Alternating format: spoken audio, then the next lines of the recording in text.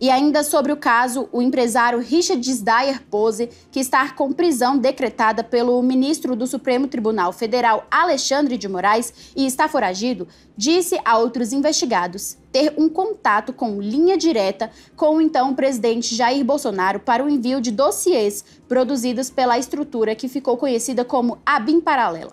A afirmação foi incluída pela Polícia Federal na representação que pediu as prisões de Poser e mais quatro pessoas decretadas por Moraes nesta quinta-feira.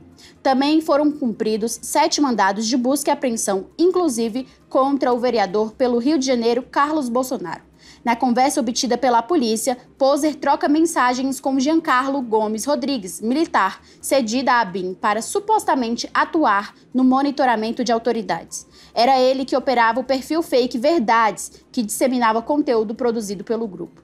Na conversa, Poser diz para Giancarlo: Eu consegui um contato que tem a linha direta com o presidente. Aí, com o dossiê caprichado, é o envio do pacote e já era o militar questiona: show de bola, mas chega mesmo na mão do presidente? Ele então finaliza respondendo: chega. É Matheus Exposito, meu contato. E Daniel Lemos. Exposito é ex-assessor da Coordenação Geral de Conteúdo e Gestão de Canais da Secretaria de Comunicação Institucional do Ministério das Comunicações.